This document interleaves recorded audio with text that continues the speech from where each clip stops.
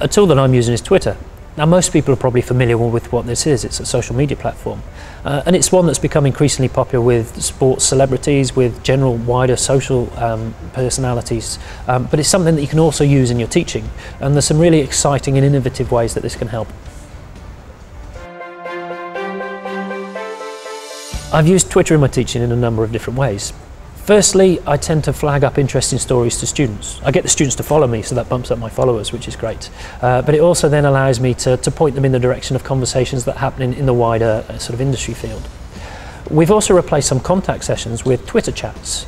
This is where everyone will go online at the same time. Um, we'll use a hashtag to follow a particular series of questions and to discuss these with everyone in the class. It also allows students to contact me outside of class sessions. If they have a question related to something they didn't get, they can tweet me uh, and ask me that question.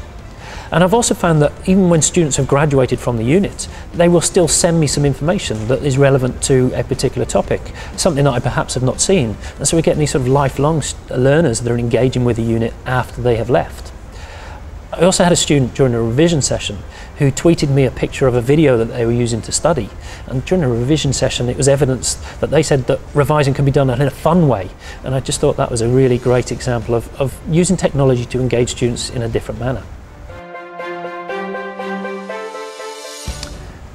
I was surprised by how some students responded to Twitter. Not all of them knew necessarily how to use it, and not all of them were on it. So a number had to set up accounts to, to start in this unit. There were some who were really, really keen on Twitter, and they would tweet me during sessions, after sessions, at three o'clock in the morning in some instances. And they were obviously avid users of Twitter. They had a lot more followers than I did. There were others that were more reluctant, but the feedback from them was that it was different, that it actually was challenging, but they enjoyed it at the end of it. And there was a number of students who said they enjoyed it because it allowed them to engage with industry experts. So in some of our Twitter discussions, it's not just me that they're conversing with, but there's other experts who will have views on the topic as well. And it allows them to, to have access to this wider community. Academics or even sports people that they wouldn't have uh, the ability to contact otherwise, they can send a tweet to and maybe get a response from them. Uh, and they'd tell stories of, oh, so and so tweeted me last night or responded to one of my tweets. That was kind of the highlight of their day in that regards. So there's a few things I've learned about using Twitter in teaching. Firstly, students almost expect you to now be available to them 24-7. They can contact you at any time. I've had students tweet me at 1, 2, 3 o'clock in the morning. And this could be about something that's due in class the next day. And you just need to manage their expectations in this case. Uh, because although they're tweeting me at that time of night, I'm certainly not going to be tweeting them back at that time of night. I've also found that the interaction is becoming more social with students.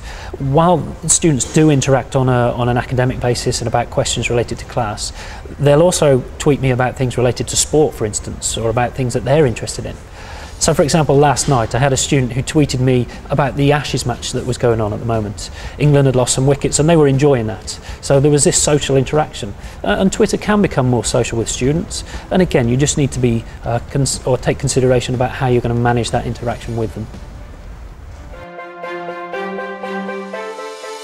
I'd say firstly, it again engages students. It, it, allows them to contact you about stories that are of interest to them uh, and it, it allows them to, to be almost lifelong learners. They're engaged in learning in the classroom, outside the classroom and once they've graduated. And it's also great for expanding your networks uh, and the areas that you have influence within as well.